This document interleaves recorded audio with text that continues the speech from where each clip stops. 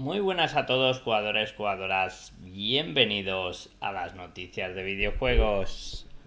Muy buenas a todos jugadores, jugadoras, yo soy Chopencao y aquí estamos un día más en el canal con noticias nuevas de videojuegos. Bueno, como ya sabéis, Call of Duty Black Ops 4 sale de aquí 6 días, eh, le queda muy muy muy poquito. Y Call of Duty, si no solo pensando en el Battle Royale, sino también en el multijugador, nos ha venido a presentar los 14 mapas que van a formar parte del modo multijugador, en el cual, como ya sabéis, eh, y si no lo sabéis, os lo digo ahora mismo, va a haber 4 de los antiguos y 10 mapas nuevos.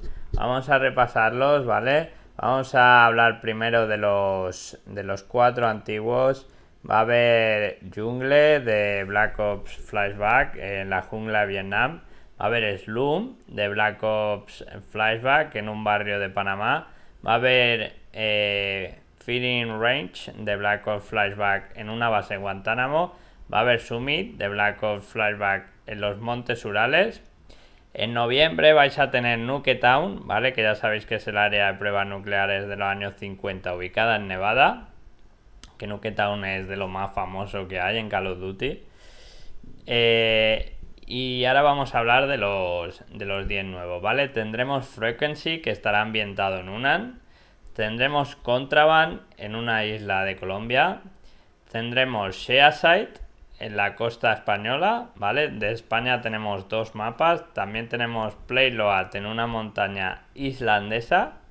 Tendremos Hacienda, que es el otro mapa ambientado en una finca española, ¿vale? Gridlock, una ciudad japonesa. Arsenal, una fábrica de armamento de Estados Unidos. Tiene muy buena pinta, la verdad, ese mapa. No. Solo el título ya, ya dice, madre mía. Tiene buena pinta. Airbreaker, un submarino nuclear, también tiene muy buena pinta. Ya no será no han ambientado. Sabéis que siempre en los mapas de Call of Duty siempre suele haber un barco que es el que. el mapa que, que más gusta a los jugadores. Y en este caso va a ser un submarino nuclear. Muy bonita, muy bonito la propuesta. Veremos qué tal. Tendremos Morocco, que es una aldea marroquí. Que se os lo presenté ya en un vídeo pasado. Tiene, se, se parece un poco al mapa de Dust. Pero bueno, la verdad es que muy guapo, muy guapo. Al de Dus de, de, Counter Strike se parecía un poquito. Tenía muy buena pinta. Milicia en Alaska, ¿vale?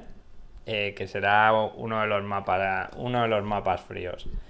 Eh, estos son los 10 mapas, ¿vale? Que ha presentado y los otros 4 que os he dicho que son de, de antiguos Call of Duty, ¿vale? En noviembre os entrará Nuketown, eh, tiene muy buena pinta, ¿vale? Lo que están trayendo. Eh, por lo menos va a haber bastantes mapas, nada más empezar.